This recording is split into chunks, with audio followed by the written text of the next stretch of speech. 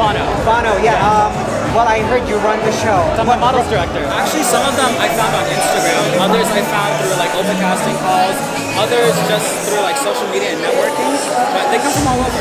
Yeah, who, who you wearing that, that, that looks uh, fashionable? Tonight I'm actually wearing Giovanni Testi. They're showing the new collection, so I know I had to rep them. Congratulations.